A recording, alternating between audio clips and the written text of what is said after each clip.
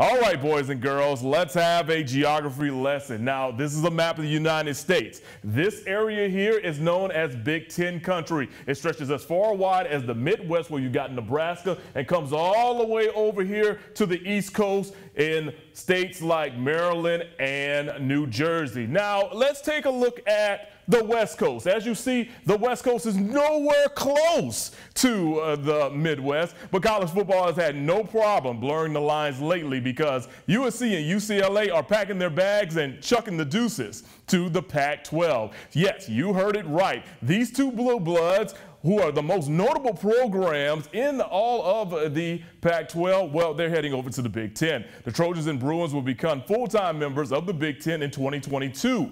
Why, excuse me, in 2024. Why 2024? Well, that's because the Pac-12 TV contract concludes at the end of 2023. Of course, it's a financial move for all parties involved as the California schools will get a big piece of that Big Ten media rights revenue pie. Sources close to Big Ten leaders cite that there could be more moves on the way. Hey, that'll do it for sports. Julia, let's send it back to you. All right.